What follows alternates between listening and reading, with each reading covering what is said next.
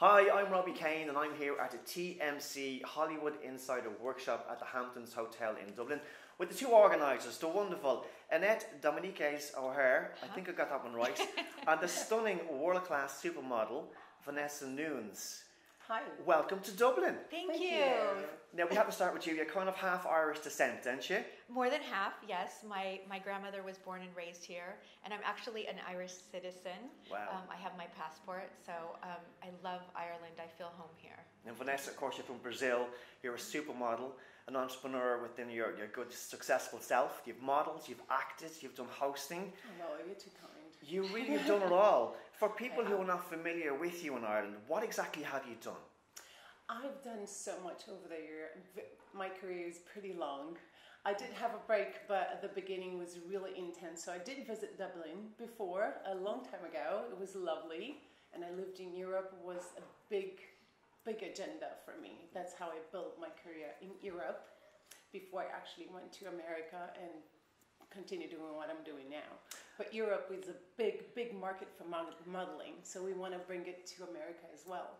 Now, did I hear a rumour when you were doing catwalk modelling, you opened a show ahead of Naomi Campbell? Did you hear that? Yes. I oh did. my goodness. I heard she was dead jealous of you now, in fairness. Is this true? She, um, well, she had a little something to say. She wanted Yeah. to open, but I always have open for years and years. It was this particular um, client, uh, very big in Brazil, and I used to go just to Brazil just for her, just like Naomi. Naomi was always the last one, but that one day she wanted to open the show, and she almost got fired for that because you can't really have the attitude in this business. So, the diva Naomi that we all Lovely, know. beautiful, yes. gorgeous, but she can't say anything. she has to agree. We all have to agree and look pretty and be satisfied. Once you have that kind of attitude, it becomes a little harder. So she didn't go back. She didn't go back. Of course, when you're working with models on a daily basis and doing catwalk stuff, it's, it's a great buzz to be a model, to be representing a brand like Tom Correct. Ford or Gaultier. But to have that kind of atmosphere, it doesn't really kind of make it good, does it? Well, because the business is so fast, isn't it? You can't really um, hesitate or protest because other models are waiting for their time in front of the camera, in front of the light to shine. So if you become too difficult, it's not good for business. Yeah, so listen to me, a great advice there. Now, Annette, you're going to be speaking to up and coming actors, models, Uh-huh. presenters, hosts, stylists, and casting agents. What advice are you going to be giving them today? Um, a lot of advice. Um, probably the first, well, the first topic we're going to be going over is how to stand out, how to set your apart, how to set yourself apart from the rest, to book the job, to get the work. Now, it's easily said, but but like Yeah. Vanessa said with Naomi, um, setting yourself apart to get noticed and not having a bad attitude Yeah. when you get the job. Um, we have a lot of actors and models in LA. So, so, some of them get ego when they get a little bit of work or a little bit of exposure. Goes to the head. And yeah, it for goes to the head. There's We don't allow that. that. We don't. We we talk to people in depth about the importance of attitude. We teach the business side, um, what to expect on a set, Hmm. what a casting director's role is, a producer, so forth. So that way, um, our models and actors not only understand their job, but they understand everyone else's job. So they have a deep respect and appreciation for what everyone does. Okay, well, obviously, Irish people, are we doing something wrong? Have you noticed this without being too disrespectful to us? Because we all take advice on board. You know, we don't want to do anything wrong. We want to kind of progress our careers if we're in this industry. It's a tough battle to be in this industry, as It you is, both know. yeah. Yeah. So there is kind of niches that we, we has, has to be improved. Is that right? Well, the um, the we we don't we're not experts on, on the Irish market, but Mm. we're experts or very well informed on the top market in the world, which is Hollywood, Los Angeles. So we are here to share that information. The number one piece of advice with um, people in Ireland is they are going to be able to take everything that we're talking about today, but the number one thing is if they think about going to America, going to New York, Hollywood, Miami, wherever, they first have to make it here. Yes. They have to be the best here. I get so many girls from Berlin, from London, from everywhere calling me and I consult them, and they they say, well, I want to come to America. I want to be a fashion model. I want to be this and this and this. I just had a girl who was 27 calling me wanting to go to Hollywood to be a fashion model, and I said, well, what have you done? Where did did you train? She didn't go anywhere. She didn't do anything. She wasn't even working in her market, which is a good market. And the first thing I said is, you have to make it there. Mm. You have to um, apply everything that I'm telling you to your market because if you come to LA and you're not prepared, you're competing against the best in the world. And you're going to sink basically. Yeah. Yeah, yeah it's not really yeah. about experience because yeah. these girls are new faces, so they do not have that. It's about uh, information, it's about being ready.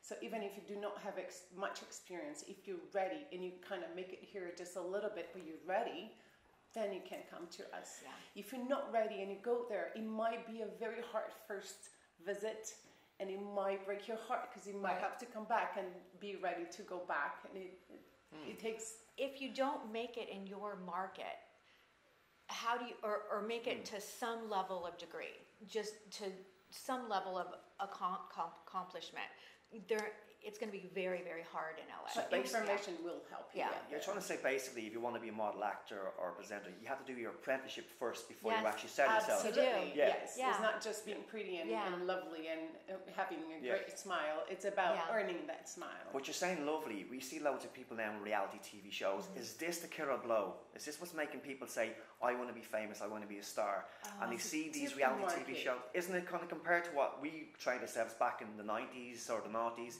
Now it's constant reality TV shows. People yeah. see them on social media. They want to be these famous people, but they've no experience, and this is what well, they think in their head.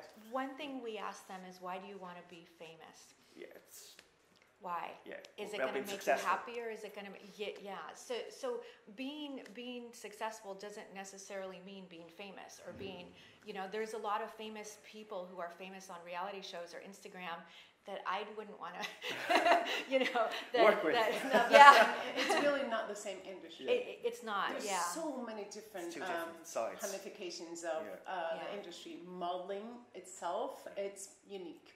So it is about beauty. It is about earning the camera. It is about loving the lenses. Hello, lenses. is there a cut off point for Nessa and Annette for someone who was in the industry to say, okay, I've tried this. I didn't get where I wanted to be. That's it. Over but hey, it. now I know. Yeah. That's the thing. Now I know I've tried it. Well, now I know I don't yeah. want to do it. But now I know all the other things that connect to the modeling that I might be good at. Yeah. There's a lot of people who wa- who go out wanting to be an actress or a model, and they go and they see it, and they they may see I want to be the host. I want to be the, the photographer, makeup the makeup yeah, artist. I want to I want to produce. Um, when I got into it, I didn't think I was going to end up being a host yeah. at some point, but um, be an actor. Yeah, no, I had or, no idea. Or yeah. be the director of a fitness agency. I am not the person. I have no experience being on stage with biceps. I have, I have no experience in that world, but somehow I'm I'm the director of a fit, fitness agency also. But I um, but I run it with my 25 years of experience, all made me capable to run it the way that I want to run it, which is completely different than any other fitness agency or even commercial or talent agency. We do it completely differently and now, it works. You're obviously speaking about fitness. A lot yes. of the men in America are very fit and healthy, like the women. Ireland over here for the last 10, 15 years has kind of jumped into that. It really yes. has kind of, you know, it's the main thing that you have to do to be fit and look good. Yes. It's all about your diet and, you know, your social life. It's a combination of balancing things out. Well, Is this yes. what you advise as well? And and West Westwood um, Club, yeah. Alan has been amazing. Um, we are really excited to get to know the fitness industry more here. Um, you know, particularly, I don't even think I mentioned the name, Naturally Fit Agency is the agency in the States that, you know, I, I run the Cal- California office. But um, yes, it, it's very important to be fit and to be healthy. Yeah, the market has changed. Back in the days when I started on the 80s, it was about being very skinny. Yeah. Uh, muscles were not welcome. yeah. um, breasts were not welcome. Yeah. Was very different than today. Today it is about being healthy. It is about looking healthy, looking happy, healthy. People buy product related to healthy looks. Yes. No longer skinny. Of course, fashion model, different thing. there are many different divisions on into the modeling industry. Fashion models they do have to be a bit skinnier, even though these days you see a little more shape than back in the days. Yes, And it's more amusing because it relates to most of the people that will go and buy the product. Because not everybody that is there to see the runway show, to see the commercials that you're producing, they're not really relating as well if you look always super skinny. Who is that skinny in real life? And of course, you're saying sell the product. When you're an actor or model, especially an actor, you are the product to sell. Yeah. And just because you're not on stage doesn't mean that you shouldn't be doing exercises, working out, and keeping the body fit. Because you want to sell it. Yeah. lately. So there's always a kind of gap in between your next job, and you have to look the best at all times. So it's a psychological thing as well. It's isn't it? psychological Yeah. thing. Yeah. Thank you. You just took it out of my mind. It's exactly. You, it makes you feel good and, and you know powerful once you're in shape and once you feel you also feel good when Yeah. you're in shape. I'm sure you know that because you're super in shape. Well, thank you so much. I'm really, you're really kind. I must buy you a drink later on. Now, I can, I can see the queue outside of people coming today. What are- are they going to be leaving on the high? Are they, I- are I they hope going to so. write notes down? Is this going to be Yes. their, their new dream because of the two of you here today? I hope so. I, Yeah. I hope they take a lot of notes. Well, because today they're going to understand that it's not going to be one try and that's it. No, you're going to try it when you're ready. You're not gonna, just going to knock on doors today. You're going to work on what you learned today, what you heard today. You're going to work on yourself. You're going to buy a very gigantic mirror for your house. It's your new new thing. Don't be shocked right now. You're going to practice, practice until you feel it. Yeah. Once you feel it, that's when you go. Before you feel it, and you're going to fill it with information because you're going to understand what to do. You're going to understand what steps to take. Right. I would never walk into an agency without being prepared. I would never walk Never. in because a lot of agencies you get one chance. I know in LA you get one chance. Yeah. And then if they see you and you walk and they give you an interview, which is rare, mm-hmm. because if they're taking their time to have a model or an actor come in to interview, you're about 80% there. You're almost signed. Because I know with my agency, I get probably three, 300 submissions a month. I don't even look at all of them because we don't have a lot of time. Um, but we get a lot of referrals. So if I like someone enough to bring them in, and this is the case with every agency in LA, um, I'm almost there. I'm going to sign them.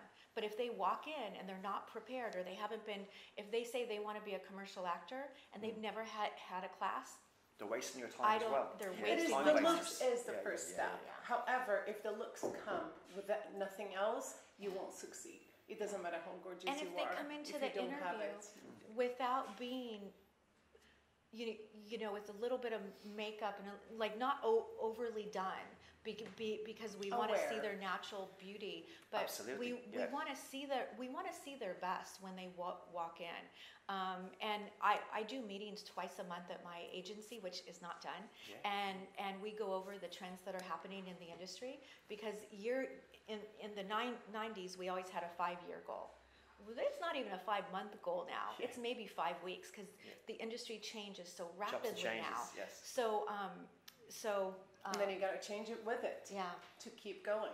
Go with the flow, go so with the, if, the times. if yeah. it's there's a time that even though you have to save your look because that's your mark, the way that you look, you got to be strong about it because they're going to be marketing the way they look. You can't really change all the time Mm. as much as that. no. When I have girls that do co- color their hair, and I book them on a job, and they booked Wrong ca- thing to be- because yeah. a lot of the Yeah. things In are normal direct life, we book. just Cut their hair. You cut can't hair. do it. yeah, Yeah, yeah. Can't do you have to look like your portfolio, like your headshot. That's what I Um, expect. I expect. You have to. And if you don't, then you know you you're making the agent look bad, you're making yourself look bad. They're not going to hire you again. And me as an agent, I am not going to book somebody again who doesn't show up on set looking exactly the way That's they why do the in their attitude. Yeah. the attitude is no yeah, longer yeah. welcome because Yeah. of time. Yeah. We don't have the time for the people with attitude. Doesn't matter how gorgeous, how It is. And of course, it's 2018. Who was your inspiration model at this particular time? It's always going to be one girl, even though now she's kind of retiring because of her babies, Gisele. Oh, Gisele amazing. forever Yes. be. Yeah, Those course, yeah. legs are always in my mind. Well, you So- know, it, it's I, I interviewed her twice. Yeah. Yeah. And And of um, course, Leonardo's ex-girlfriend.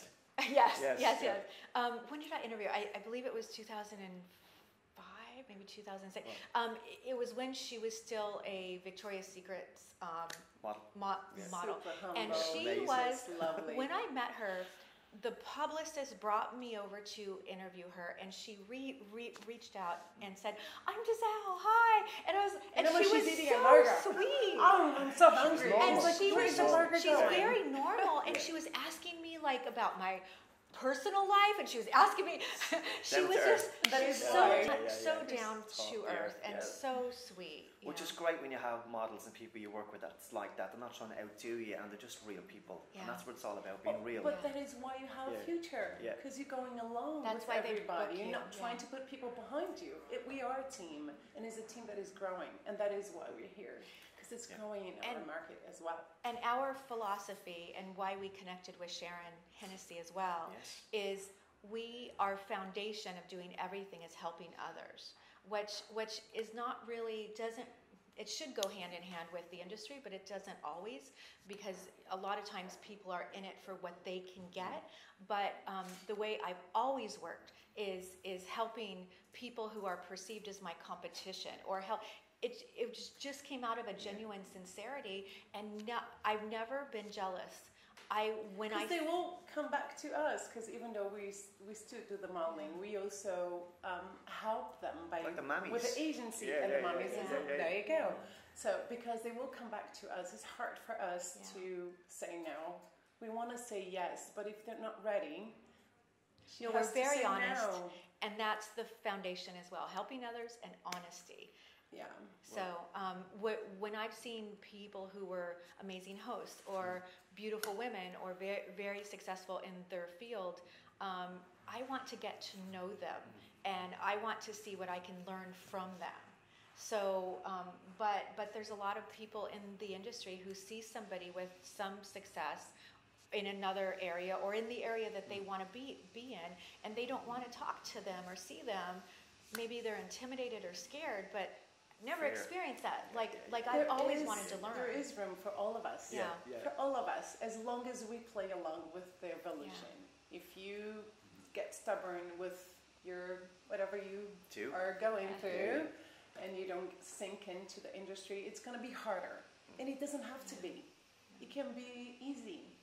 So it's going to be great advice for people today that's going to come to the Hollywood Insiders workshop. Once you have Yes. it, easy peasy. Well, listen, Vanessa and Annette, thank you so much for speaking Thank to me today. you. And the Thank best for luck and enjoy us. Dublin.